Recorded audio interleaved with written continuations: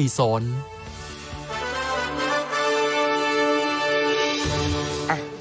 ไปดูนะคะ กลุ่มปตทโชว์สุดยอดเทคโนโลยีและนวัตกรรมนำอนาคตนะคะ รายละเอียดจะเป็นอย่างไร ติดตามเลยค่ะ เมื่อวันที่ 1 มีนาคมที่ผ่านมา กลุ่มปตทจัดงาน PTT Group Tech and Innovation Day ภายใต้แนวคิด Beyond Tomorrow นวัตกรรมนำอนาคต ณ ปตทสำนักงานใหญ่ถนนวิภาวดีรังสิต โดยมีนายสุพัฒนพงพันธ์มีชาว รองนายกรัฐมนตรี และรัฐมนตรีว่าการกระทรวงพลังงาน และนายวราวุฒิศิลปะอาชา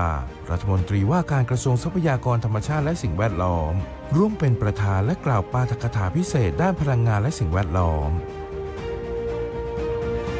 โดยในงานนี้จะเป็นการแสดงศักยภาพด้านเทคโนโลยีและนวัตกรรมทิศทางกลยุทธ์การดำเนินงานและการลงทุนด้านนวัตกรรมของกลุ่มปตท ตลอดจนสร้างการรับรู้ทิศทางของเทคโนโลยีในอนาคต และหาโอกาสความร่วมมือทางธุรกิจใหม่ พร้อมทั้งผลักดันการสร้างนวัตกรรมด้านพลังงานและเทคโนโลยีต่างๆ ให้เกิดขึ้นในประเทศไทย เพื่อมุ่งสู่เป้าหมายความเป็นกลางทางคาร์บอน ตามวิสัยทัศน์ Powering Life with Future Energy and Beyond ของกลุ่มปตทโดยงานนี้จัดขึ้นระหว่างวันที่ 28 กุมภาพันธ์ ถึง 3 มีนาคม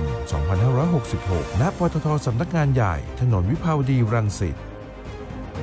ถ้าดูสังเกตในงานเนี่ยธุรกิจที่เกี่ยวข้องจะเป็นธุรกิจที่เป็นเรียกว่าเป็นสังคมคาร์บอนต่ำก็เป็นธุรกิจใหม่ซึ่งสอดคล้องกับนโยบายประเทศ ถ้าเราเข้ามาในงานเนี่ยตั้งแต่บูธแรกเลยก็คือเรื่อง Future Mobility การขับเคลื่อนด้วยยานยนต์ ไม่ว่าจะเป็น EV เป็นยานยนต์ที่เป็น fuel cell ที่เป็นไฮโดรเจน ถัดมาก็คือเรื่องของ health and life science ไม่ว่าจะเป็นเรื่องของยาเรื่องการตรวจสุขภาพลงในถึงระดับโมเลกุล แล้วก็ไปถึงเรื่องอาหารที่เป็น plant-based เลยถัดไปนิดนึงก็จะเป็นเรื่องของ AI robotics การใช้เทคโนโลยีหุ่นยนต์มาทำงานผสมผสานกันยังไง แล้วก็รวมไปถึง Enable ที่เป็นสถาบันนวัตกรรม EECI รวมไปถึงบูธที่เป็นบริษัทแฟกชิพทั้งหมด 7 บริษัท วันนี้ปตทเดินหน้าไปแล้วนะครับใน 2-3 ปีที่ผ่านมา แล้วก็จะทำให้ประเทศไทยรวมไปถึงพันธมิตรธุรกิจอื่นที่จะขับเคลื่อนเติบโตไปด้วยกันนะครับ